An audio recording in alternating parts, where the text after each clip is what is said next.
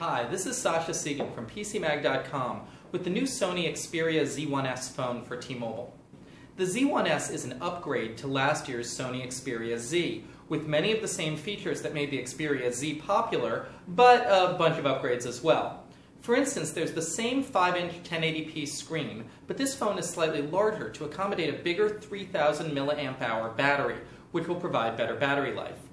On the back, we have a 20.7 megapixel camera with a bigger, better sensor that's going to provide better low light and overall performance than last year's device. Like the Xperia Z, this is also water resistant, but it can now be called waterproof because it can be submerged up to 4.5 feet for up to 30 minutes. Now the Xperia Z1S has a powerful Snapdragon 800 processor and Sony had a pretty light touch on the UI, but they've added some very useful software.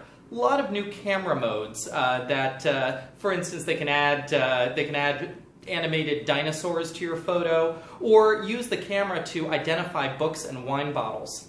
Since this is an underwater phone, there's a hard camera key that's uh, going to appeal to a lot of people. That's right here. Now the phone comes with 32 gigs of standard memory, uh, but it also has a micro SD card slot, so you can really expand this for a lot of music and video. It's coming to T-Mobile on January 22nd. Uh, the price hasn't been set quite yet as of this video, but you'll be able to find out a lot more about it on PCMag.com.